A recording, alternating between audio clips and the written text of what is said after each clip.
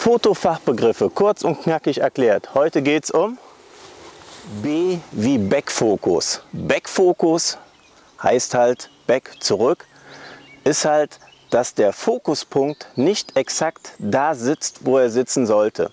Das heißt, wenn ihr mit dem Autofokus zum Beispiel die Spotmessung aktiviert, dass der Autofokus nur auf einen kleinen Bereich ähm, ansprechen soll und ihr geht ganz gezielt auf einen bestimmten Punkt und stellt dann nachher im Bild fest, dieser Punkt ist gar nicht scharf, dass die Schärfe dahinter liegt. Und das nennt man halt Backfokus. Ob euer Objektiv einen Backfokus hat, lässt sich ganz einfach feststellen, auch ohne große Hilfsmittel.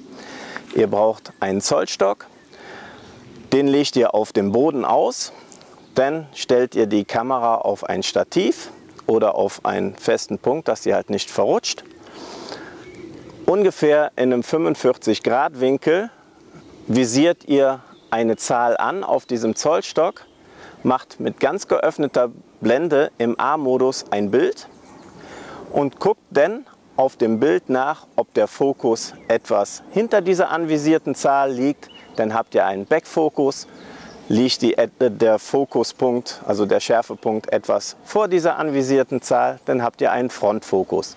In den meisten Kameras lässt sich dieses im Menü durch diese Micro-AF-Einstellung beheben.